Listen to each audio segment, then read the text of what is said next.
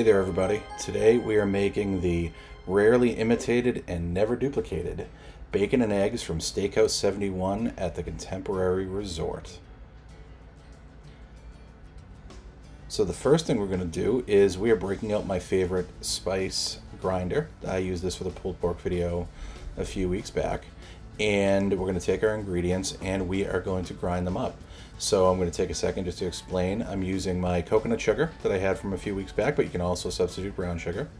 This is Szechuan peppercorns that I've grinded down, kosher salt, and also sometimes you find an ingredient and it feels like a cheat, but it's not. This is uh, Derek Wolf's maple bourbon uh, seasoning from Spiceology. It's actually perfect for this.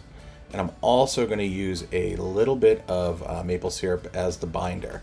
If you watched my pulled pork video, you know I talk about a binder on the uh, meat to kind of hold the seasoning on, and that's what we're doing.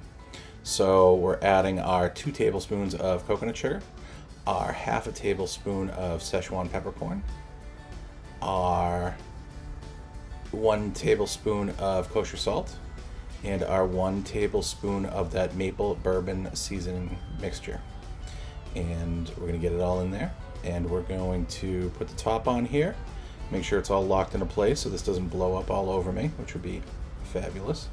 And then uh, we're going to give this a grind. So as I grind it now this is a quick 15 second grind. You can see that kind of dust coming out of there. And that's because it's made it into a really fine uh, seasoning powder. So and again I'm going to use a shaker for this just because it's easier for me. And I will again take this out of the shaker. When I'm done, store it in a Ziploc bag in a cool area, write the name on it, date, all that type of good stuff. But this way it's nice and easy to apply to the pulled pork. So I'm gonna give that a little clean and we are all set. Make sure I clean as we go to keep uh, Mrs. DVC Chef happy.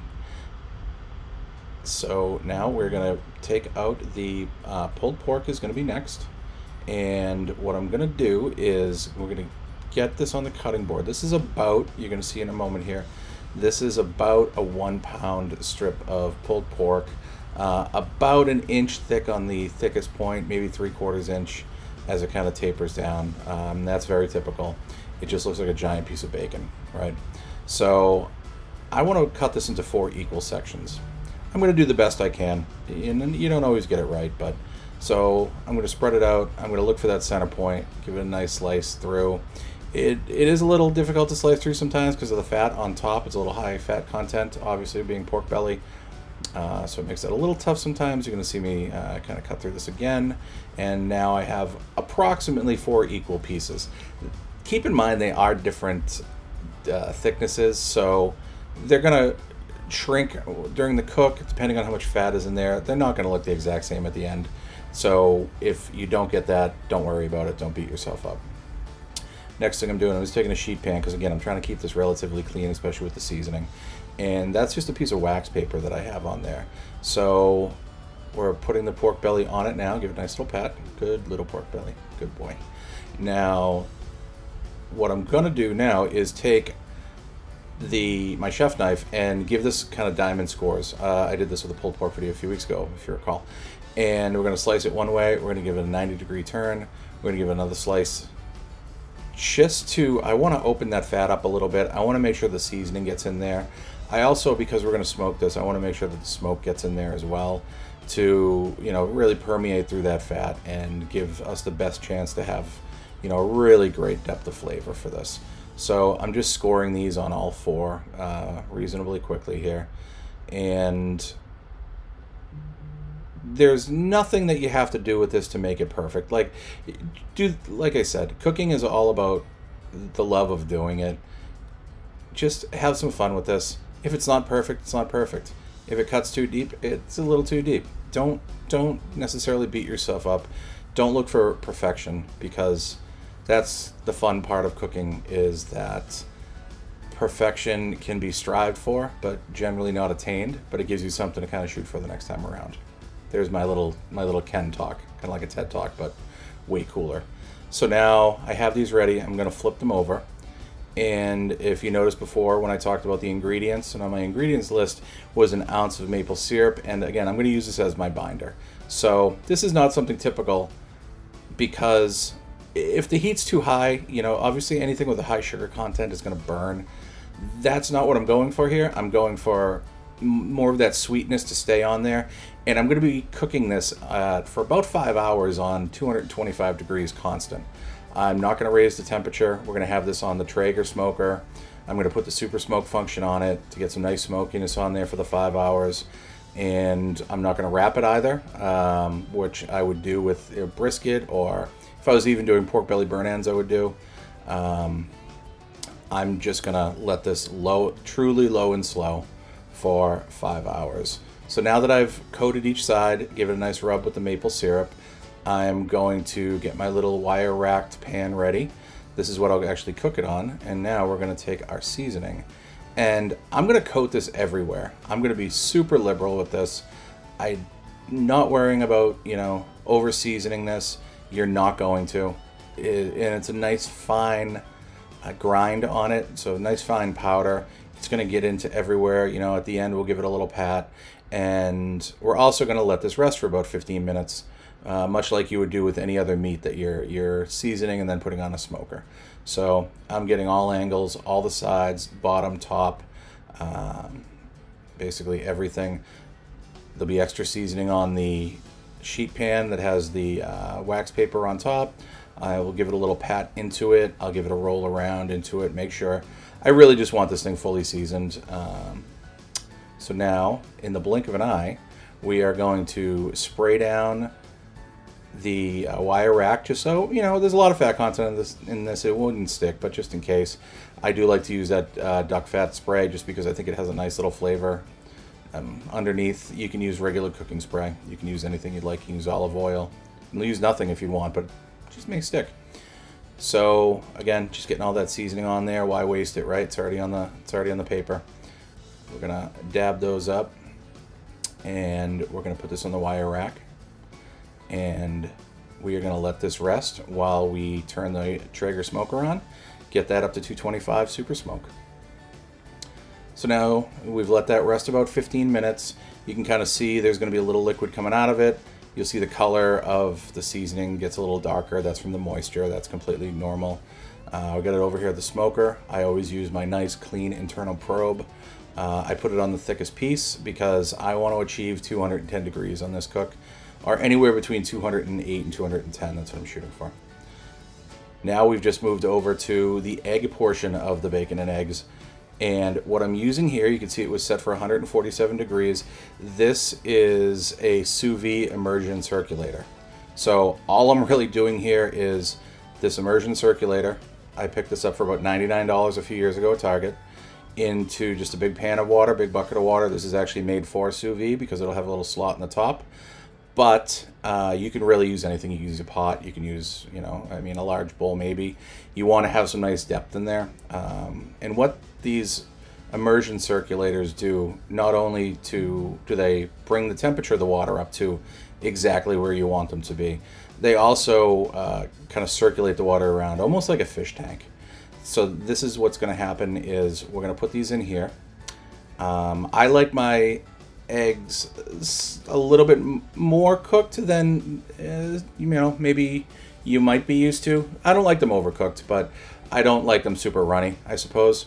And also when you make these, I'll talk about it later, there's going to be a little custard factor in the way we cool these down. But I'm going to have these in here 147 degrees for a minimum of 90 minutes. But you can go over with this. You can you can actually take this as long as uh, as long as you want, really um, anywhere under four hours. And these sous vide machines are circulators. I don't even call this a machine. It's kind of a wand. This um, sous vide piece of equipment uh, is fabulous for a lot of things. You can do steaks with these. This is how a lot of your high-end steak houses actually do their steaks. If you go to blah blah blah that you've you know spent $115 at for a nice uh, ribeye, this is probably how they're bringing them to at least temperature to rare, and then they finish them and sear them and maybe bring them to temp from there. So, and you can kind of see, I just wanted to illustrate what the circulator is doing. It's, it's moving the air. You can even see the little bubbles in there. You can see the eggs moving. Next, we're going to make our grits. So I'm using uh, Tillamook uh, cheesy grits. So we have two cups of water, one cup of milk, one cup of these uh, corn grits, you'll see. This is a, just a brand uh, red mill that I picked up in the store. And also a brick of uh, Tillamook cheddar cheese. It's a really nice creamy cheese. Uh, it's it's great for cooking things like this because there's enough moisture in it as you're cooking it and as you're letting it simmer with the grits that it's not going to dry anything out. It's not going to become over salty like, you know, some like maybe Parmesan cheeses would. And it's not going to be too, you know, loose almost or water like, you know, like a mozzarella would be. It's got a really nice texture to it, really nice flavor to it. And it makes, in my opinion, for the perfect cheesy grits. And I believe this is also what they use at Steakhouse 71, or at least they did the last time I was there. So we're to basically combine these ingredients. We're gonna shred. I'm gonna shred this cheese down. It's three ounces of it that I generally use. It's a little less than uh, half of this brick of cheese, but we're gonna bring this all out to the outdoor griddle, and that I use as kind of my stove top when I'm cooking. Again, trying to keep everything clean, um, and then we're gonna start there to get the grits going. And I'm excited. I, you know, yeah, I don't eat grits a lot. Um, you like them regular, creamy, or al dente? Okay, if you get that joke, you've seen uh, my cousin Vinny. Um, I don't have grits a lot, but when I do, I really enjoy it. And this is actually the perfect dish for it. And how the egg will turn out is to. Okay, uh, there is one ingredient that I did not talk about, just two pats of butter. Uh, because what is better than butter when you're cooking anything, really, especially when you're cooking grits? So we have the butter melting there we have our 16 ounces or two cups of water from my mason jar. Then we're going to add our one cup of just regular milk. Uh, I believe this is 2%. This is what we had. I'm sure you can use whole. I wouldn't use skim. It might be a little too watery. If you're going to do this, you might as well just use water. So we're going to add the wet ingredients uh, to the butter pats, heat it up. This is, I have this side of the griddle on full temperature. So as you can see here, uh, it's starting to come to a rolling boil. So I basically keep one side of my griddle off and one side um, on high to boil so that way I can slide it over and control the temperature. Now I'm adding our one cup of corn grits and I'm gonna get start giving this a stir. Uh, basically what I want to avoid here is you know lumps. Anytime you take things like you know if you can imagine if you've used grits you know this oatmeal um, things like that. If you even flour into hot water, I don't know if you'd really do that, but you, you, know, just think that it would clump up. So that's what I'm trying to really avoid here. I'm trying to get all the lumps out. You know, like a good thin, um, you know, good good consistency, good um, texture here that we're just trying to go with. I've heated it up, and now I'm sliding it over to the offside, just so now it can simmer because I still pick up about 250 degrees of residual heat on that side. Next, what I'm going to do is our eggs have now been in here for about 90 minutes. So with a slotted spoon, I'm going to go in very carefully because the water's, I mean, it's 147 degrees. It's pretty warm. Uh, I'm going to take the four eggs that I've made out and I'm to let these cool for about 15 minutes. Now, if you wanted a super, you know, more of a runny egg, then I would say wait for this step to the very last and then crack the egg immediately, which I'll show you how to do it when we get there. There's a little trick to it. And then put it right on the grits and you're done. And when you cut the egg open, it'll be nice and creamy inside. When you let this rest for about 10 minutes, it starts to come down to temperature and it's going to create like a custard. So we're to let those rest and our next uh, task here is making our maple lacquer. And this is a very hot pan, so you want to be careful. Uh, this is basically three tablespoons of coconut sugar you just saw me add and about three ounces of maple syrup just a 50-50 mix and I'm going to stir this together I'm going to incorporate this I'm going to get it off the off the high heat as soon as the um, brown sugar or coconut sugar if you're using it dissolves a bit and so I've actually lowered the heat here just so you know, I can control it a little bit. Um, this is a cast iron pan. It's going to conduct uh, heat very well, and if you keep this on super high heat, it could bubble over.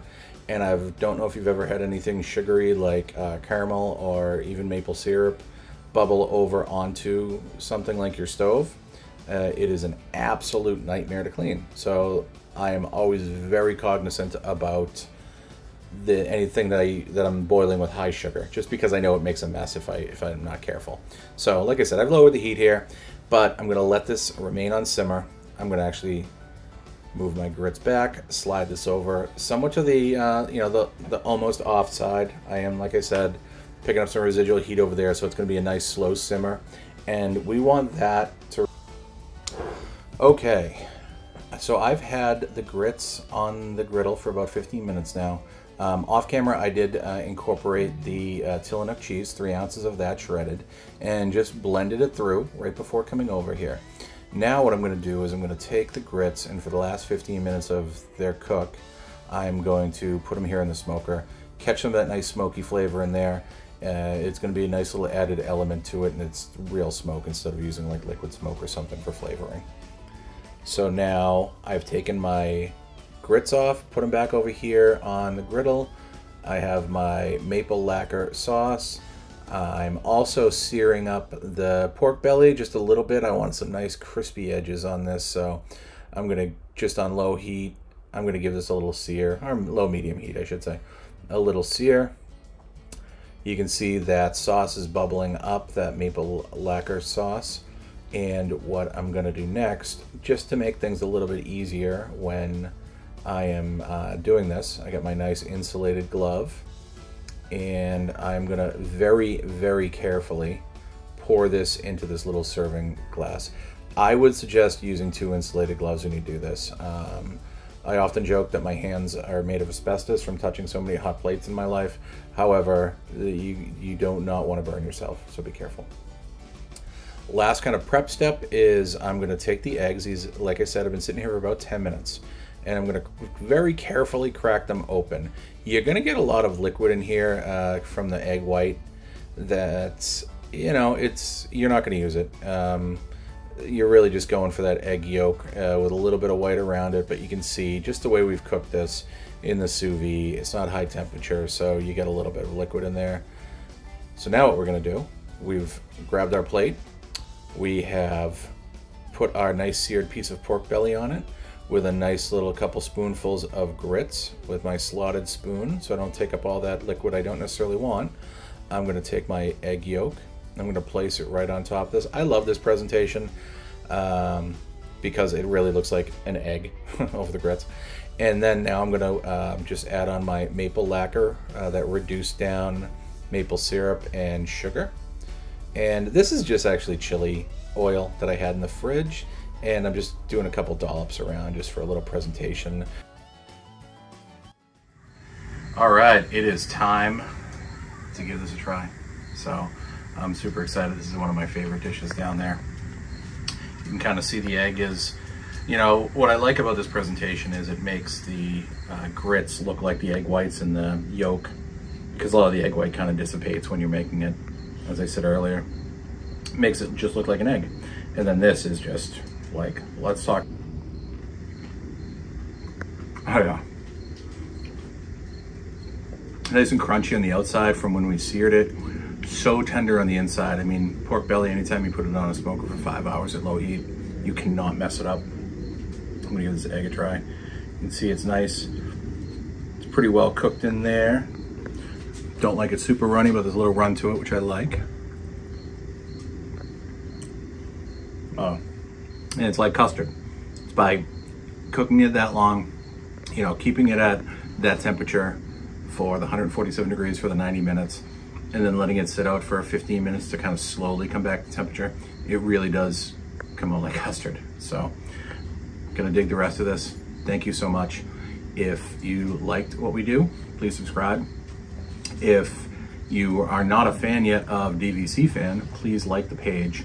And if you get any comments, please leave them below. My girl Luna's here. She knows what's up. All right, this is awesome. Not mad about this at all. Thanks. Have a great week. Take care.